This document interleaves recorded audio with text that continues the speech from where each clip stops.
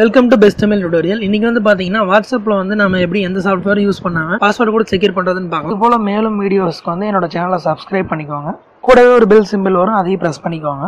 வாட்ஸ்அப்பில் பாருங்கள் மேலே வந்து மூணு டாட் இருக்குது பாருங்கள் அந்த டாட்டை கிளிக் பண்ணிங்கன்னா உங்களுக்கு ஆப்ஷன்ஸ் வரும். அதில் செட்டிங்ஸில் போயிட்டு அதில் வந்து அக்கௌண்ட்ஸில் போயிட்டு டூ ஸ்டெப் வெரிஃபிகேஷன் ஒன்று இருக்குது அதை கிளிக் பண்ணிங்கன்னா உங்களுக்கு ஓப்பன் ஆகும். இதை பாருங்கள் எனேபிள் கொடுங்க. எனேபிள் கொடுத்துட்டு உங்களுக்கு வந்து சிக்ஸ் டிஜிட் நம்பர் வந்து நீங்கள் கொடுக்கணும்.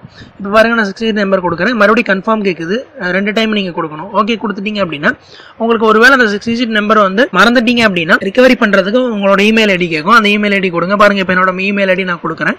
அதை கன்ஃபார்ம் பண்ணுறதுக்காக ரெண்டாவது டைமும் இமெயில் ஐடி கேட்கும் அதே ஐடியை வந்து நீங்கள் கொடுங்க. இப்போ ரெண்டு டைம் இமெயில் ஐடி ஒரே ஐடி கொடுக்கணும் நீங்கள் அப்புறம் நெக்ஸ்ட் கொடுக்குறேன்னா மறுபடியும் வந்து கன்ஃபார்ம் பண்ணுறதுக்காக இமெயில் ஐடி கேட்கும் அதே இமெயில் ஐடி கொடுங்க. இந்த இமெயில் ஐடி கொடுத்து ஓகே கொடுத்தீங்க அப்படின்னா உங்களுக்கு வந்து பாருங்க சேவ் ஆயிடுச்சு இப்போ நீங்கள் வந்து உங்களோட வாட்ஸ்அப் வந்து நீங்கள் அந்த ஆறு டிஜிட் நம்பர் இருந்தால் மட்டும்தான் நீங்கள் யூஸ் பண்ண முடியும். வேற யாரும் வந்து ஓப்பன் பண்ணி நீங்கள் மெசேஜை பார்க்க முடியாது. இது வந்து நீங்கள் உங்களோட வாட்ஸ்அப் செட்டிங்ஸ்லயே நீங்கள் வந்து செட் பண்ணிக்கலாம். இப்போ வந்து உங்கள் ஃபோன் வந்து ஆனில் இருக்குது அப்படின்னா நீங்கள் உங்கள் ஃபோனை ஓப்பன் பண்ணி நீங்கள் யார் வேணாலும் உங்களோட வாட்ஸ்அப் மெசேஜ் அல்லது வந்து உங்கள் வாட்ஸ்அப் ஸ்டேட்டஸ் இந்த மாதிரி வந்து நீங்கள் பார்க்கலாம். அந்த மாதிரி வந்து உங்களோட ஃபோனை எடுத்து வேறு யாரும் பார்க்கக்கூடாது அப்படின்னா நீங்கள் அதுக்கு வந்து பாஸ்வேர்ட் செட் பண்ணிக்கலாம். அதுக்கு நீங்கள் தனியாக அப்ளிகேஷனில் யூஸ் பண்ண தேவையில்லை. வாட்ஸ்அப்லேயே செட்டிங்ஸ் இருக்குது அதை நீங்கள் கொடுத்துட்டீங்க அப்படின்னு வாட்ஸ்அப் நீங்கள் ஸ்டாப் பண்ணிட்டு ஒரு டைம் ஓப்பன் பண்ணுறப்பையும் அதுக்கான பாஸ்வேர்டு கேட்கும். ஆறு டிஜிட் நம்பர் கொடுத்தீங்கன்னா மட்டும்தான் ஓப்பன் ஆகும்.